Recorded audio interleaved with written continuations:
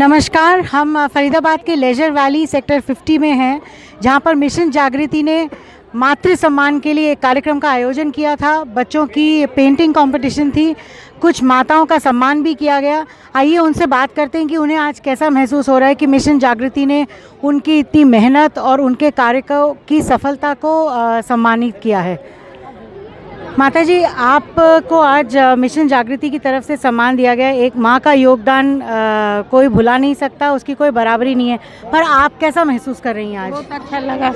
बहुत अच्छा लगा। आपने हम लोग के लिए बहुत अच्छा की आपने किन किन तकलीफ़ों का सामना करा है? सभी करते हैं सभी के जीवन में कुछ ना कुछ कष्ट होते हैं लेकिन हम आपसे पूछना चाहेंगे क्योंकि आज आप बहुत भावुक हैं इसलिए हम जानना चाहेंगे कि आप आपने किन कष्टों का सामना किया?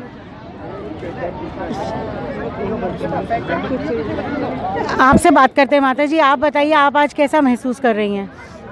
ठीक है अभी तो चल रही है मगर तबीयत तबीयत खराब हो जाता है बार बार तबीयत खराब हो जाता है। तो बहन जी बोला है कि चलो वहाँ पर कुछ मिल जाएगा आ जाओ। मैं आ गई। आपको अच्छा लगा? हाँ अच्छा लगा मुझे। खूब बढ़िया लगा। माता जी आप बताइए आज मिशन जागृति ने सभी माताओं का सम्मान करा है। आपके दिल में कैसे भाव हैं आज? हमें बहुत अच्छे लगे इधर आके। मतलब आप हमारे सब बच्चे हैं, हमारे सैंतीस साल हो गए, जो घर वाले गुजरे हैं। दो छोटी छोटी लड़कियाँ थी उस टाइम हमने मेहनत करके उनको पढ़ाया, लिखाया। एक नर्स बनी है, और एक मतलब नहीं है, वो विधवा भी हो गई है मतलब हाँ। तो हमें बहुत अच्छा लगा अब मेरा घर नहीं था, कमरा नहीं था अपना। जो मैं अब आज वृद्ध आश्रम में आ गई। तो बहुत अच्छा लगा बच्चों की अपना उम्र बड़ी करे जिन्होंने हमारा इतना सम्मान किया है। बहुत अच्छा लगा। जी हाँ। हाँ जी हाँ जी बताइए। मेरे बहू का बरेट का ऑपरेशन था। मैं फिर बहू बीमार पड़ गई मैं हॉस्पिटल में भर्ती थी। फिर बेटा बीमार पड़ गई मैं आश्रम में आ गई। खाने पीने के कुछ नहीं था। दू दू को बेटी जमान जमान दूरा पर पड़े हैं इसलिए हम अपना आश्रम में चले। आपने देखा कि मिशन जागृति का का जो, मिशन जागृति का जो सम्मान देने का एक जो कार्यक्रम था, उनका जो उद्देश्य था वो केवल ये नहीं था कि समाज ये देखे कि इन माताओं ने कितने कष्टों से अपना जीवन व्यतीत करा, पर इनके इनके दिल के तसल्ली के लिए, इनकी खुशी के लिए कि इन्हें इस बात का एहसास दिलाया जाए कि इन्होंने जो काम करा अपने जीवन में, जो कष्ट सहे हैं वो ज़ाया नहीं गए हैं। समाज उनको पहचानता है उनका सम्मान करता है। मिशन जागृति को बहुत बहुत शुभकामनाएँ सभी माताओं की तरफ़ से और बहुत बहुत आशीर्वाद। मिशन जागृति का कोई भी कार्यक्रम आपके सहयोग के बिना सफल नहीं होता है। आपका हमेशा सहयोग रहता है इनके हर कार्यक्रम में। हमें बताइए कि आज आप कैसा आपको कैसा महसूस हो रहा है कि इन्होंने माताओं का सम्मान किया है? मैं जो मानता हूँ मिशन जागृति एक संस्था नहीं एक परिवार है। और हर बार कुछ ना कुछ पूरी टीम एक नया करती है। तो पिछली बार बात हुई थी कि हमें बुज़ुर्गों का सम्मान करना चाहिए क्योंकि जब लोग बाग देखते हैं बुज़ुर्गों का सम्मान हो रहा है तो कुछ ना कुछ मेरे को जहाँ तक आइडिया है कि यह आइडिया की हंड्रेड परसेंट सही बात होगी कि जो भी भाई अपने घर जाके सोचेगा जब उसके माँ बाप का सम्मान हो सकता है तो मैं भी अपने माँ बाप का सम्मान करूँ। क्योंकि इसका ध्येय सिर्फ़ यही था कि कैसे हम अपने बड़े बुज़ुर्गों का सम्मान कर सकें। मुनी जी आपके इस कार्यक्रम से मिशन जागृति के इस कार्यक्रम से युवाओं को एक बहुत स्ट्रॉन्ग एक मैसेज जाता है एक बहुत अच्छा संदेश जाता है। आप अपने तरफ़ से युवाओं को क्या कहना चाहेंगे? मैं तो यही कहता हूँ जैसे कि खुद भी मैं अपने में मानता हूँ कि अगर हम अपने माँ बाप की इज़्ज़त करते हैं और उनकी ज़रूरतों का ध्यान रखें और हमारे दिल में पूरे दिन में ये आता रहे कि आज हमारे पिताजी कहाँ हैं हमारी मम्मी कहाँ हैं तो भगवान की पूजा करने से ज़्यादा माँ बाप की। हमारे साथ राजेश भूटिया जी हैं। राजेश जी आपने इतना सुंदर कार्यक्रम आयोजित किया और सभी बच्चे माता पिता सभी ने पार्टिसिपेट किया बुज़ुर्गों का सम्मान किया गया मातृशक्ति का सम्मान किया गया। ये विचार आपके ध्यान में कैसे आया? मैंने ये देखा कि हम बुज़ुर्गों का सम्मान करेंगे।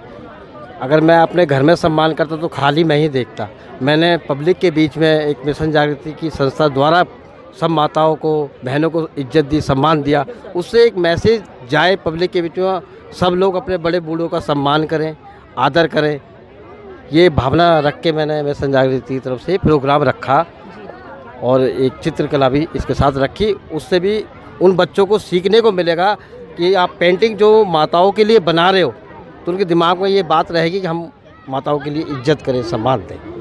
ये हमारे हमारे साथ अर्चना जी हैं। अर्चना जी जिला क्षेत्र का कार्यक्रम का, का काम देख रही हैं कार्यभार देख रही हैं अर्चना जी आज के परिवेश में आ, आ, एक महिला से महिला को ज़्यादा शिकायत रहती है कि हमें वो सम्मान नहीं मिलता घर में। अ, इस तरह का कार्यक्रम आयोजित करके इसका हिस्सा इसका हिस्सा बन के आपको कैसा महसूस हो रहा है? मुझे एक्चुअली बहुत अच्छा लग रहा है कि एक माँ का सम्मान हो रहा है एक नारी का सम्मान हो रहा है और धीरे धीरे धीरे धीरे लोगों के मन में ये बात आ रही है कि एक लड़की का एक औरत का एक माँ का सम्मान करना चाहिए जो कि पहले नहीं था। मैं मिशन जागृति और इससे जुड़ी और भी बहुत सी संस्थाएँ हैं, उनको बहुत बहुत धन्यवाद देना चाहूँगी कि वो लड़कियों को, औरतों को, महिलाओं को, बेटियों को सबको बहुत इज़्ज़त दे रहे हैं और ये बेटी बचाओ, बेटी पढ़ाओ का ये कार्यक्रम आगे चलता रहे ताकि देश में जितनी भी महिलाएँ हैं वो आगे बढ़ चढ़कर और अच्छी तरह से उन्नति करें और हर चीज़ में अव्वल आए।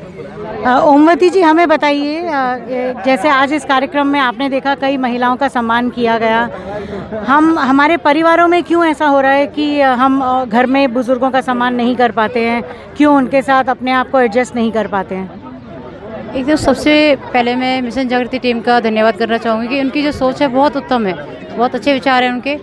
और मैं ये मानती हूँ कि मदर्स डे एक ही दिन में होना चाहिए। हर रोज़ मदर्स डे होना चाहिए। हम अपनी माँ से अपने पिताजी से हर रोज़ प्यार करें जो कि हमारे भाई जी कह रहे कि एक कमरा नहीं पूरा घर हमारे माता पिता का होना चाहिए। और आज के समय जो हमारे मोदी जी का मिशन है कि बेटी बचाओ बेटी पढ़ाओ तो मैं कहती हूँ कि बेटों को भी समझाओ। ये हमारा मिशन होना चाहिए। और साथ में अ, हमारा जो रही कि आपस में संस्कार क्यों नहीं हम मतलब बात क्यों नहीं करे? कहीं ना कहीं हमारा एक जो लगाव है वो आजकल प्रति टीवी में इंटरनेट में ये चला गया। हम अब बुज़ुर्गों के पास बैठने में लगता है हमें शर्म है जैसे। हम लोग वो नहीं बैठ पा रहे हैं वहाँ पे। तो मैं सभी से यही हाथ जोड़ के निवेदन करना चाहूँगी कि अपने माता पिता को समय प्रिय रखो पहले क्योंकि माता पिता का जिस घर में मान सम्मान होता है उसमें भगवान का भी सबसे पहले वास रहता है। धन्यवाद। साहिल जी आप मिशन जागृति के कार्यक्रमों में भाग लेते रहते हैं आपका सहयोग रहता है। मिशन जागृति के इस कार्यक्रम के बारे में आपका क्या कहना है कि उन्होंने बुज़ुर्गों का और महिलाओं का मातृशक्ति का सम्मान किया? बहन जी, पहले तो मैं आप सबका और पूरे मीडिया का स्वागत करना चाहूँगा। और दूसरी बात ये कि मिशन जागृति मंच एक भारत का बहुत प्रसिद्ध मंच बन चुका है। ये एक परिवार है और बहुत बढ़ चढ़ के हर चीज़ में ये बहुत चढ़ के भाग लेते हैं। और आज का जो प्रोग्राम रखा गया है, हमारे राजेश भूटिया जी ने और प्रवेश मलिक जी ने बहुत ही अच्छा प्रोग्राम किया है। और ये ये बड़े बुज़ुर्गों को जो आज सम्मान दिया इन्होंने, इससे ये पता चला है कि हमें अपने भी घर में बड़े बुज़ुर्गों का सम्मान करेंगे, तभी लोग उनका बाहर सम्मान करेंगे। तो शुरुआत अपने घर से ही करनी चाहिए बड़े बुज़ुर्गों का सम्मान करने की, ताकि लोग और भी उनका सम्मान कर सकें। ताऊ जी, रोड सेफ्टी से लेके मिशन जागृति तक हम आपको कई जगह देखते रहते हैं।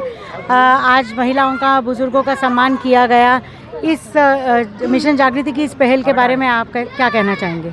सबसे पहले तो जी सभी को राम राम। मिशन जागृति जो कार्य कर रही है, बहुत अच्छा कार्य कर रही है। जिस घर में माँ की इज़्ज़त होने लगी तो उससे अच्छा धन्य घर क्या हो सकता है?